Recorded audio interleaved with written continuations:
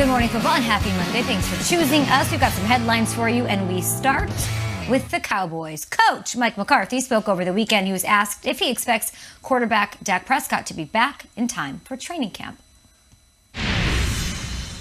Yeah, I, have no reason not to think that, and uh, you know, I, I, think you know this week in Phase Two will be a will be a big will be a nice step in that direction. I, I think he'll do most things. I mean, we're, we're, you know, there's a there's a plan in place that's coordinated with uh, with Britt and and Jim in the training room, and so. Uh, but I know he feels he feels really good. He's he's he's really um, has had some excellent workouts uh, here the last couple of weeks. So, but I, I see him doing most of the work. Well, we have the perfect person to talk Cowboys. I would say Jane Slater's addiction is the Cowboys. So let's get to it. Something we are calling Jane Says. Some say Jane says I'm done with Sergio. What say you, Jane, about Mike McCarthy saying that Dak Prescott is expected to be ready for training camp? It actually is a great song, isn't it? Always been a fan. Listen, I've got a lot of concerns about the Cowboys heading into the season, but Dak Prescott is actually not one of them. Everyone I've talked to said that he has been in the facility nearly every single day. He's mobile, he's out and about. What was intriguing about this, and Striker, I'm heard, I'm sure you heard a little bit of this leading up to uh, you know, the signing of Dak to the long term deal, there was all of this buzz that he had this second surgery and that he pushed his recovery too much and there might be concerns about the ankle. There's been no talk of that. Everyone that I've talked to ever since he signed the deal, so maybe that was just the buzz that happens as you're trying to get one of these long term deals done, has been that they have no concerns about what he's able to do. In other, in other words, he's able to play on the foot, he's able to step back, he's been throwing fine. And you heard Mike McCarthy saying it there. They expect him to do even more in phase two. I'm concerned about the offensive line in Dallas. I'm concerned about this defense, but Dak Prescott, his mentality to get back on the field and even the work that he's put in and all of the reports I've heard about his health so far. I've had no indication to worry about him and whether he'll be able to play next season and whether he'll be able to play well. Yeah, no doubt, Jane. Everybody in the NFL is, is rooting for Dak uh, to come back. Uh, the, the, Cowboys definitely are a different team with him on the field. Let's talk about Gil Brandt real quick. Uh, somebody I know you know very well, and somebody who knows the NFL inside and out. Here are his. He created an article. It's out on NFL.com right now. You can go on and click on it. He ranked eight rookies who he believes are in the best position to succeed in 2021. He has Cowboys linebacker Micah Parsons listed at number seven. So the Gil father says Parsons is in one of the best positions to succeed as a rookie. Jane, what do you say? Well, I say that Gil Brandt is one of the more fascinating guys I've ever met. I think he finally just got a flip phone. Before you'd have to actually have to call his landline and leave a message on his answering machine at home to get a hold of him. So I nice. was always entertained by that. Uh, but his read on on Micah Parsons, I think, as it relates to the position, is is a good one. I mean, I think the big thing with Micah is you know he hasn't played football in a year. Uh, but if you talk to this guy, there was no one that wanted to be a Dallas Cowboys player more than this one. Uh, he talked about as he left you know, the Cotton Bowl game at AT&T Stadium. He hoped he was able to put on the blue and white. There you see his enthusiasm. I've never seen a more confident guy on the podium calling Jerry Jones my man.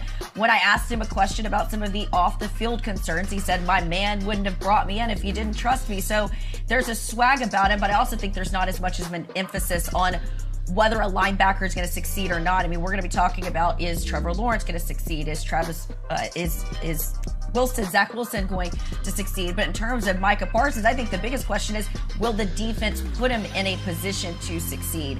I think that's my biggest question. We didn't get a lot from this coaching staff last season. I reported the players just didn't feel like they were teaching well, coaching well. The players weren't responding uh, to some of the nuances of this defense. But I think that what stands out to me about Dan Quinn is he has a very clear vision for what he wants from this group. And so I think sky's the limit for for these guys. I like some of the swag and some of the talent that they've brought in. It's can they put it all together? And if this team can just get a middle of the pack defense, I think that this team could be something special. We certainly saw that in 2016 when it was a middle pack defense and we had Dak Prescott and, and Ezekiel Elliott firing on all cylinders. Jane, loving having you on the show because of your expertise with the Cowboys and so many other teams around the league, but also for my opportunity to go down a Jane's Addiction wormhole. I was a huge Jane's Addiction fan Uh, I would put Ritual de lo Habitual as up there, right up there with Nevermind from Nirvana or any of the Foo Fighter albums that Kyle Brandt sings in his sleep. Um, uh, Jane, Yes. let's ask about some the sore spot, the unit of the defense. You mentioned it right there. You said it's going to be middle of the pack. That might not be good enough. So I'm going to ask you straight up: with Dan Quinn, with all these young defensive rookies, is the Cowboys' uh, Achilles heel going to be that defense, or are they going to be able to find a way to overcome just how sore that spot was last year? Yeah, attitude is not going to be an issue for this team. You know, it's funny. A lot of us beat reporters have kicked around like, who are the leaders in this locker room? It just didn't feel like they had, at times, the right guys on the defensive side of the ball, and then a lot of times the right guys were injured. So they've brought in a lot of new faces. With even when I look at this roster, I'm going to be learning a lot of new names this year because when you look at some of the guys they they decided not to resign, guys they lost in free agency, and all of the rookies and the attention to defense and the draft, uh, it's a completely new group. But maybe that's good because they're more moldable, they're more pliable. And what I love about this notion of Dan Quinn, I, I talked about earlier, he seems to have had a much clearer vision for what this defense is going to look like, very similar to what we saw with the Se- Seahawks and the Legion of Boom. And he brought in a lot of similar players, guys like Nahshon Wright in these corners that are lengthy and big. Uh, and then speed was the other thing that really stood out. But like, for me, the altitude, uh, attitude, not an issue. I, I think this is a, a confident, swaggy group, but I think their mm-hmm. altitude is ultimately going to depend on this coaching staff. Are they going to put them in the best position to succeed? Because I truly felt like that is what held them back last year.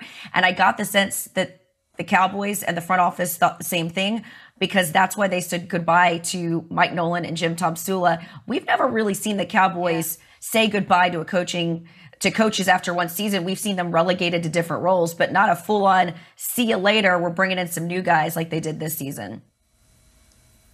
Oof, 28th ranked scoring defense in the NFL last season. Shouldn't take much to improve upon that. One last one for you, Jane.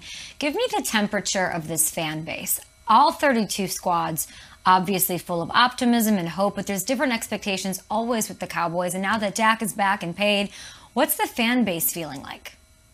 I think you hit the, the nail on the head when you said Dak. I think the minute they signed Dak, uh, the expectations and the energy for this fan base were at an all-time high. If the Cowboys weren't able to get this thing done, I think you would have seen uh, the pain is one of the favorite words that the fan base likes to use around here. They know nothing but pain.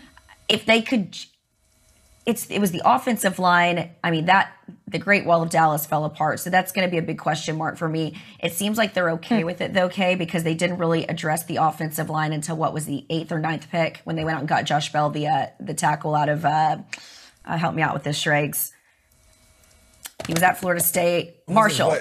Uh, until they addressed uh, Josh Ball. So they, they clearly felt good enough about La'el Collins and Tyron Smith's uh, health. But that to me, and then I think Ezekiel Elliott, he's been putting in the work this offseason. Fans love to see that because Zeke took.